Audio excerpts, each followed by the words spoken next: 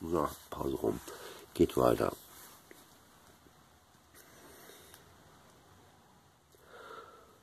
Die Begrifflichkeit Muttersprache und die Sprache, die man spricht, die Sprache mehr noch, in der man denkt und fühlt. Fühlt, ja, weiß ich nicht. Gefühle, ganz tiefe Gefühle, die haben keine Sprache, die sind sprachlos. Werdet ihr auch irgendwann feststellen. Für die innerste Sprache des Menschen braucht nicht unbedingt Laute bilden zu können. Muss er nicht unbedingt. Für die innerste Sprache des Menschen genügt es ganz einfach, das zu sein, was man nämlich ist, Mensch sein. Aber die Sprache, die man spricht, oder wenn man eine Sprache spricht, erleichtert sehr vieles, mit anderen Menschen Handel zu betreiben, mit anderen Menschen klarzukommen oder anderen mit, Menschen mitzuteilen, was man für sie empfindet oder auch weniger empfindet. Das Zusammenleben läuft bei weitem einfacher, wenn man eine Sprache unter Menschen benutzen kann und sie wohl formuliert und gut formuliert dann auch wiedergeben kann. Es erreicht auch sehr vieles zu anderen Menschen, mit denen man nicht klarkommt oder erkennt, man kann mit denen nicht klarkommen, Grenzen aufzuweisen. Ja, zu manchen Menschen muss man leider Grenzen aufziehen. Ist leider so. Weil diese anderen Menschen jetzt aus meiner Sicht der Dinge gesehen, der ein oder andere von euch macht vielleicht irgendwie die Sache andersherum sehen sei ihm überlassen, wirklich von meiner Seite sei ihm das überlassen, wenn er das irgendwie andere Worte für das findet, wieso halt gewisse Menschen halt gewisse andere Menschen nicht leiden können. Ja, hier spricht von, ich spreche gerade von nicht leiden können. Das heißt letztendlich, dass man sich gegenseitig wehtun würde, wenn man zu lange und zu intensiv miteinander Kontakt hätte. Leiden können hat den Wortstamm oder die Sinnlichkeit, dass man sich einander nur Leid zufügen möchte. Das ist der Sinn dahinter. Wenn man jemanden nicht leiden kann, heißt das so viel, bitte bleib außerhalb dessen oder ich ziehe mich so weit zurück von dir, weil wenn wir uns zu nahe kommen oder wenn wir zu lange miteinander Kontakt haben, werden wir beide leiden, weil es ist auch so ein alles Grundgesetz hier zwischen Menschen oder in der Natur allgemein, alles muss in der Waage bleiben. Soll nichts anderes heißen, wenn der andere mir weh tut, werde ich dem auch weh tun. Tut dem anderen gut, versucht er mir erstmal auch vielleicht gut zu tun. Ist halt nicht immer gesagt, manche Menschen sind so drauf, dass sie gerne andere Menschen ausnutzen. Sind eher Ich-Menschen und nutzen andere Menschen gern aus. Aber da brauche ich im Augenblick nicht so. Entschuldigung. Das war wiederum die falsche Zeitform. Das hätte euch, wenn ihr in meinem Alter jetzt wärt, damals wie ich noch kleines Kind oder junger war, nicht so weiter interessieren brauchen. Heutzutage muss euch das auch schon interessieren. Ihr müsst leider sehr, sehr viel wissen, weil ihr gar nicht ahnen oder wissen könnt. Vieles hat sich jetzt die letzten 50, 60 Jahre zum Negativen hin verändert in dieser unserer Welt, nicht nur in Deutschland. Das war ja gerade meine Katze, so heißt Hexe. Ja, Hexe ist eine ganz liebe Katze. Ist jetzt im Jahre, also wir haben ja jetzt immer noch das Jahr 2022, immer noch dasselbe Tag, ein paar Stunden später wie der Anfang dieses Video. Eine kleine Unterbrechung. Ich erzähle euch erstmal ein bisschen was über Hexe, weil Hexe ist, wie gesagt, eine ganz liebe Katze, so ist mir auch sehr nah an meinem Herzen. Ich versorge sie. Ja, hier in meiner Wohnung sieht es nicht so besonders schön aus, muss ich leider zugeben. Das überlassen, wenn ihr ein schöneres Zuhause habt, haltet es sauber, haltet es gepflegt.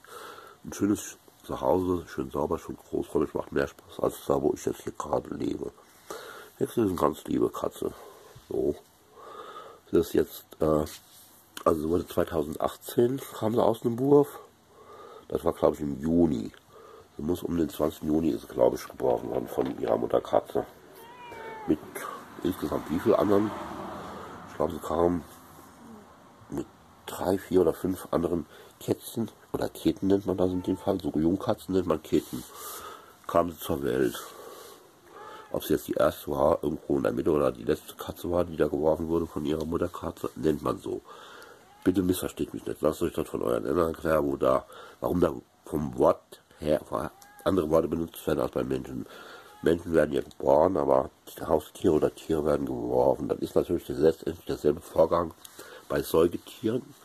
Also Katze ist ein Säugetier, der Mensch, die Spezies Mensch ist ein Säugetier. Warum man das jetzt bei Menschen geboren werden nennt, und nicht auch ein Wurf oder wie auch immer man nennt, ich weiß aber nicht. Ich habe da selber so manchmal meine Komplikationen, warum man ausgerechnet bei so anderen Säugetieren, außer bei Menschen, das anders nennt wie beim Mensch selber. Aber ist so die Wortwahl.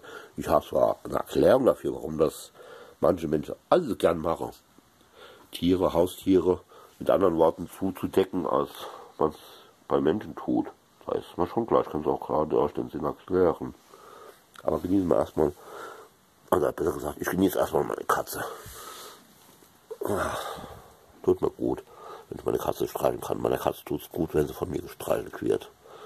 Katzen, die Spezies Katze oder die Art Katze ist Raubtier. Ja, sind Raubtier, sind zwar wuschelig aus, sind auch sehr knuddelig, sind auch sehr zahm. Domestiziert nennt man das Haustier, sie sind an den Menschen gewöhnt und brauchen den Menschen, deshalb sind sie auch Liebe. Tiere, also nicht zu verwechseln mit Wildkatzen oder Großkatzen wie Löwe, Tiger, Panda.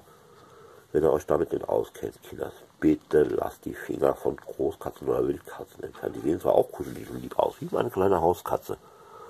Aber die sehen euch lediglich, wie was ihr in einem Nutella-Brot seht. Katze dagegen, mit der kann ich spielen, die tut mir nichts. Weil die mich halt sehr, sehr, sehr mag und von mir abhängig ist. Ansonsten würde die mich genauso behandeln, wie wahrscheinlich das eine Großkatze machen würde. Ach, da kommt ja ein lecker Fresschen da vorbeigegangen. Ach, jetzt will der lecker Fresschen mich auch noch Opa, wenn er da hab ich mal. Also sehr falsch.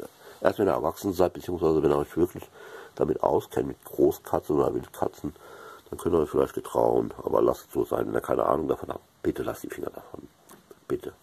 Warten nicht so viel. Und dann sagt, schlacht mich nachher doch eure Eltern, wenn euch ein Leid geschieht, nur weil ihr mal ein Video geguckt habt und ihr dann so interpretiert, ihr dürft das, lasst es bitte sein.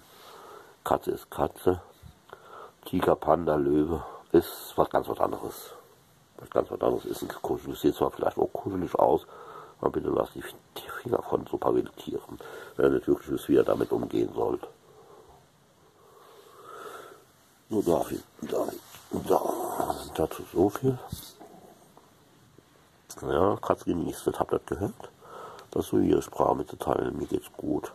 Aber die Katzensprache zu verstehen ist sehr schwierig für mich. Jetzt spielt sie ein bisschen mit meiner Hand, knabbert ein bisschen dran. Das sind Liebesbisse, also das war ganz was anderes wie zubeißen.